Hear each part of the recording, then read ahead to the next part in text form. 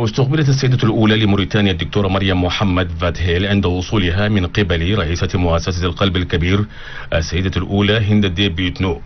ذو احتراما للإجراءات الوقائية بسبب كوفيد 19 حيت السيدة الأولى لموريتانيا أعضاء مؤسسة القلب الكبير الذين قدموا لها استقبالا حارا.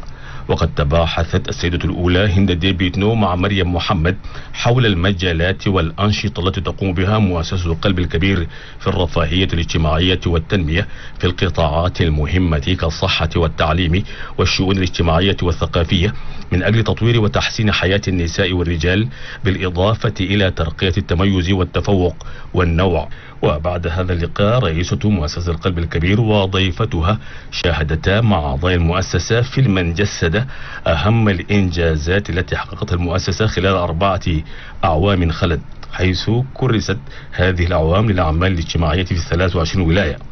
هذا وتقدير لزيارتها لمقر مؤسسة القلب الكبير قدمت السيدة الأولى هند ديبيتنو هدية لضيفتها. وقد عبرت السيدة الأولى لموريتانيا عن امتنانها وسرورها ووقعت على الكتاب الذهبي باللغة العربية التي تعتبر اللغة الرسمية لجمهورية موريتانيا. وقدمت شكرها للسيدة الأولى هند ديبيتنو على كرم الضيافة وحفاوة الاستقبال وأشادت بالأعمال الرائعة التي قامت بها مؤسسة القلب الكبير خلال السنوات الأربعة الماضية.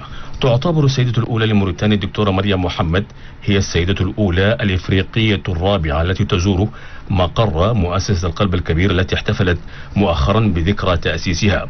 وذلك بعد زيارات السيدات الأول شانتال بيا وأنطوانيت ساسونجيسو وآسيتا يوسف مامدو بالإضافة إلى لويس موشي كوابو الأمينة العامة للمنظمة الدولية للفرنكوفونية.